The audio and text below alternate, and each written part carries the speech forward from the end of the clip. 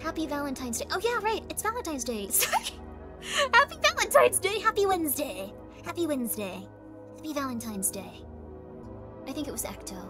It was probably Ecto actually. She was playing Metal Gear Solid 2. Yep, that was Ecto. If I see one of my friends playing Metal Gear Solid 2, I raid them.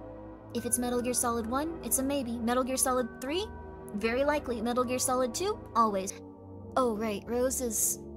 Oh, from Metal Gear Solid 2? Rose is an experience.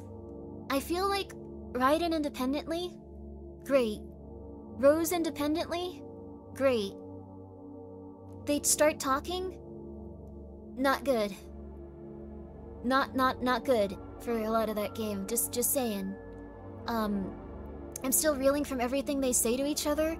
It very much feels like when you're in a car with two people fighting, and you know that you need them to drive you home.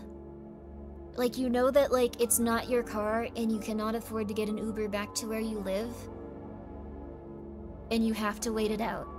That's the feeling you get every time Raiden and Rose talk in Metal Gear Solid 2. It's awesome. I think it's cool too. I love Metal Gear Solid 2.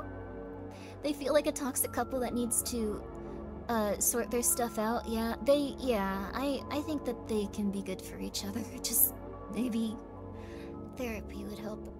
But like, who knows where to go is this person who owns the car? Exact. Okay, it's like I don't know if you've ever been in a car where like you're not sure if you're gonna survive, like because people are just driving and like really angry at each other. Like I don't know if I've ever had that experience, but I've heard about that like through Reddit posts and stuff where they're just like, "Yep, really awkward experience. Yep, this it's that would be probably one of my top five worst fears.